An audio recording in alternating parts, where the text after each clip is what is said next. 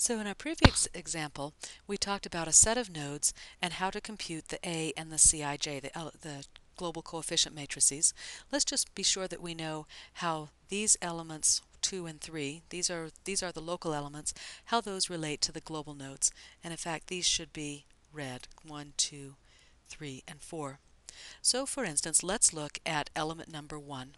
For element number 1, node 2 is global node 2. Node 3, however, is global node 4. Node 3 again is global node 4. 1 is 1, that's going to stay the same. 1 is 1, and 2 is 2. Over here, global node 3 is 4, and the others stay the same. So P1 is going to be Y2 minus Y4. Over here, x3 is going to be, Q2, Q3 is going to be x2 minus x1, and so on. So work these out, and here are the values that I got. Minus 1.3 here, 0 0.9, 0 0.4, minus 0.2, minus 0.4, 0 0.6. The area that I got was 0 0.35. Now why don't you take a minute and see and be, and be sure that you got those values too. Now this gives us an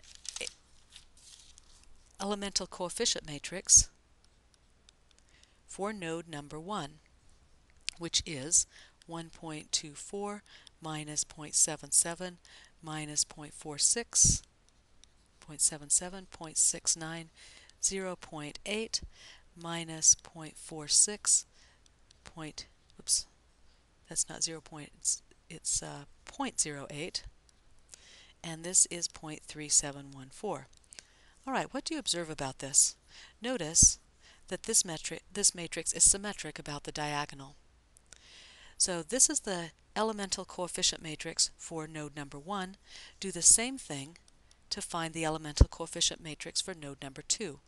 Now we need to assemble the global matrix. So let's consider our four points. We're going to have C11, C12, C13, C14 with four nodal voltages like this, and we're going to set that equal to 0. That's a matrix, a vector of four zeros. So let's bring up our model again. So we know that this was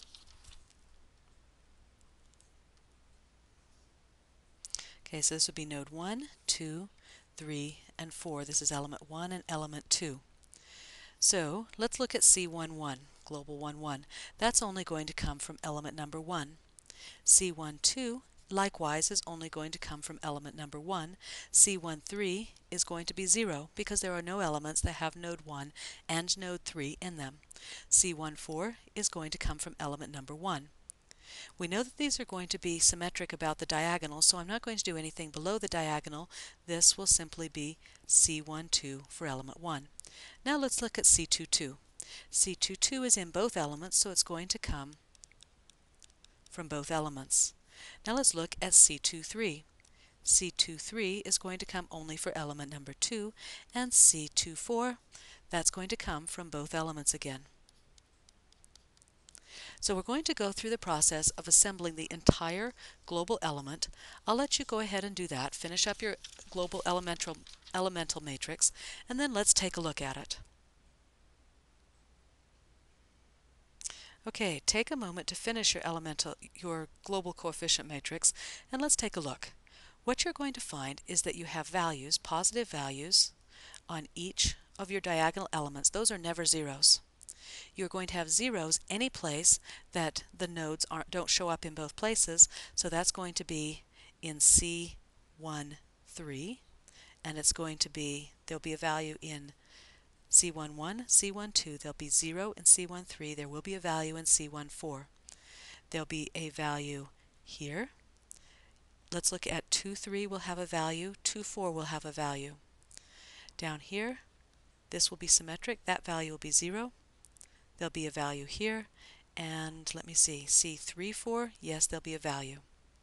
So on and so forth. So this one is going to be here, here, and here. The only time that you have zeros, and when you have elements,